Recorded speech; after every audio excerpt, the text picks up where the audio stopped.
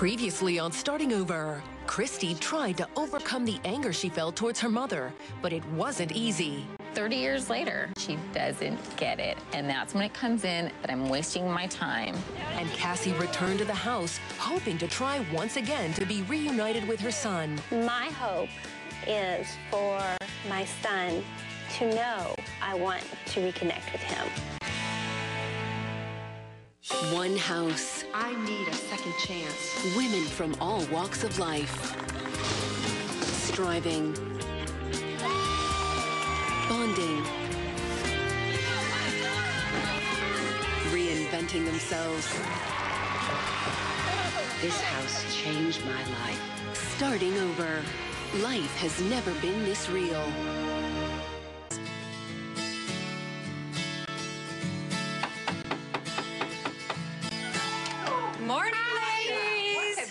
Here? Morning, ladies. Busy, Oh. busy, busy. What is We got things to do. Oh my gosh. Right in the dining room, everybody. Uh, All right, ladies, huh. have a seat. How are we this morning? yes. Oh, Well, this is going to be so much fun. So, today I want to talk to you about men. I want to talk to you about your relationship with men. I want to talk about how you feel around men.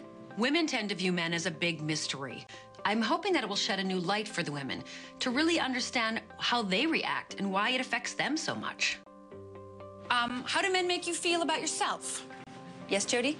I have realized that I have been picking men to validate me. So, hmm, not very healthy. Instead of enhancing you. Exactly. And what about if you're attracted to a man and he's not attracted to you? Then I feel rejected and unloved and unaccepted, and I attack myself.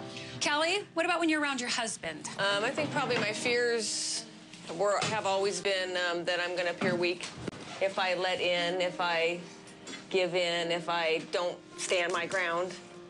Cassie, you and your relationship with men. I always felt I always had to have a man in my life to make myself feel whole. And I was always, I would lose my identity. So you weren't just the way you were lovable or worth loving, but you had to do something to get love. Okay? my husband, I feel at times that he just doesn't even necessarily like me. But when I go out with my girlfriends and I meet other men, mm-hmm. They love the fact that I'm confident, that I'm so outgoing, that I'm just standing in myself, and they think I'm funny and they tell me I'm pretty. So it's like, I feel like I get all that from other people. And they're like, gosh darn, I'm so bummed you're married, and you know what I mean? And then with my husband, it's like I'm desperate for that. So we have all these expectations on our relationship and how they should make us feel about ourselves. Mm-hmm. So today, ladies, we're going to turn the tide. We're going to decide how we want to be with a man and how what we want to show them. What do you want to advertise about yourself? What do you want to share about yourself? What do you want to stand in when you're around a man?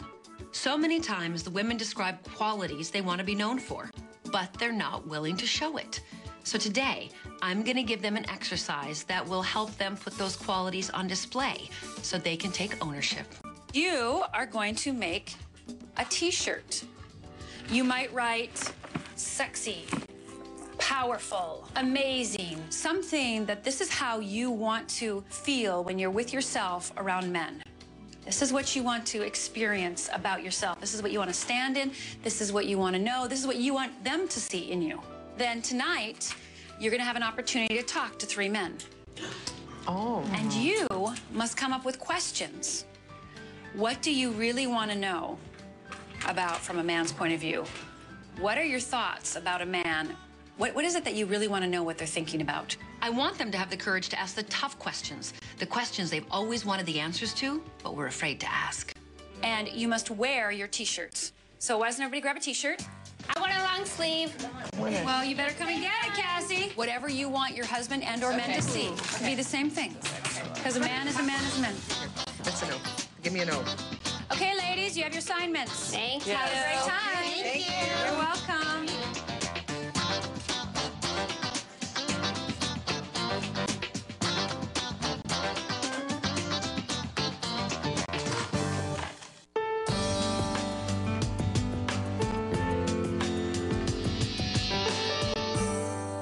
So who'd like to go first? My question is, what makes a man stray? A man, when he's wanting to stray, is because he's unhappy. If we're not happy, are going to start thinking about something that may make us happy. In any relationship, there are times when that person you're in relationship with, you're not, it, nothing's, nothing's happening there. And I know that if you think, oh, well, the, the thing to make me happy, my partner doesn't have it, so it's out there somewhere else, and you do that, that that's when you stray. So exciting having the men in the house and being able to really get nitty gritty with some questions. What does beautiful mean to you? There can be beauty at the physical level, at the mental level, at the emotional level, at the spiritual level. And in order to see that, if there's a resonance between two hearts, then so much more of that becomes visible. Every woman and every man has beautiful qualities if you're willing to take the time and look. How important is it for a woman to have a good body? It's going to depend a lot on the maturity of the guy. Yeah, you're going to find a lot of guys who that's going to be extremely important. Yeah, physical beauty was very important to me when I was a young kid. But at the same time, the women I the women I dated, they all had some sort of spiritual element that was very important to me. And there were a lot of attractive women physically that absolutely I had no reaction to at all. How do you all express your love to your significant other? I tell my wife I love her. You know, she does the same thing for me, and, and that's a that's that's that's regular. It's about time, and it, when you make time, whether it's quiet time or athletic time or cuddle time, love-making time, I mean, it's it's all about that time. What are your thoughts on coming home every day to a wife in sweats and flip flops? Love it. I met my wife at the gym. No makeup, flip flops, sweats, just hanging around the house. Works for me. I wear flip flops and jeans to work, so I have no problem. Is it still really that men still want that challenge? I mean, it's Mm, good still question. the cat and mouse kind of game. I find that there's sort of two stages early in the relationship. I think that the, the beginning stages for me is a get to know you. No game playing. Let's be real. And then there's a point in there somewhere where there's there's enough interest on both sides and there's a little bit of fire starting that the roles change. Whether that includes a little bit of game playing or more, I think it's just playing. It, it is. It's playing, but it's not playing to to try to one up each other. I was never into the game. And when I met somebody who was into that game, it was always terrible. So, to answer your question, does the game exist and is the game out there? Absolutely. And do a lot of people subscribe to it? Yes. That's my opinion. Do you have to? No. What really stood out for me was realizing that whoever I decide to have in my life must really be on their journey of healing and be emotionally mature. How much did you live as the woman you want these men to see that's on your t shirts tonight? Never fully. Maybe that was then. Yeah, it's different now.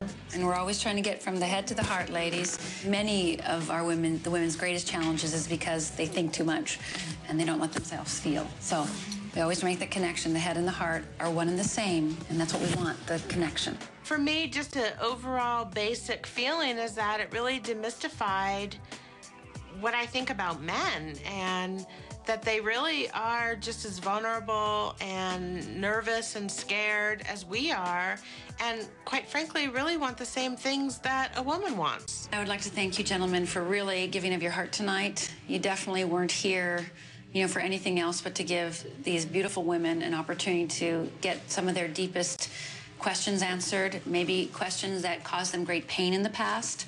And so I think tonight was not only informative and enlightening, it was also healing.